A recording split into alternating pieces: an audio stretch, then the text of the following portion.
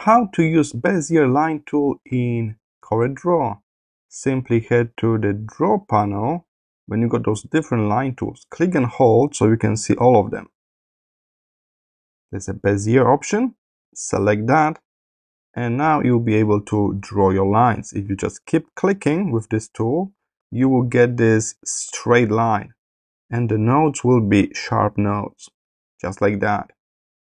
But if you click and hold, I didn't release my mouse, I'm still holding my mouse, you will be able to create those curvy lines. Keep in mind, you are not only curving the line behind, the one we see, but we are affecting the next line. So take a look, if I click here, even I just click once, it's supposed to be straight line, but no, because we curve this point, the next line, it's also a bit curved, but if I click next one, next one is straight again. So that's important to remember. Whenever you curve the line, the next one will be curved a bit too to match with that curve point. So that's kind of the biggest challenge for new users to simply understand that the next line, we don't have the full control on that. It's a bit curvy because of the previous point as well. If you need the full shape, you should always go back to the starting points. In my case, it's just a line. If I want to stop drawing it, I can change the tool to any other tool and then I will end up with simple line. I don't need to continue using this tool. So it's a rather similar tool to pen tool and we got these two user cases. Clicking for straight line or click and hold so you can curve your line.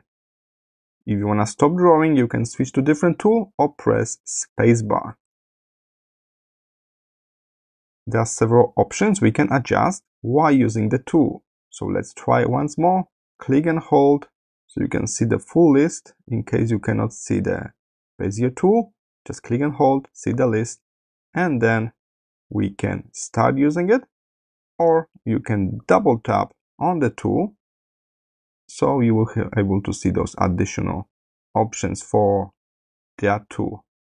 Keep in mind when you are drawing your curves, you can always go back to them so I finished drawing by pressing the spacebar and now I can edit those nodes. So those nodes can be still move around and the angles can be adjusted.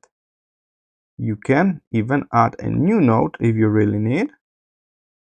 Or you can delete existing node by pressing backspace on your keyboard delete button.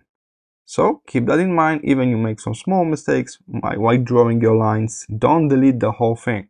Just fix them using the node tool here at the top, the second selection tool for editing curves. Alright, I hope this short tutorial was helpful and I will see you in the next video.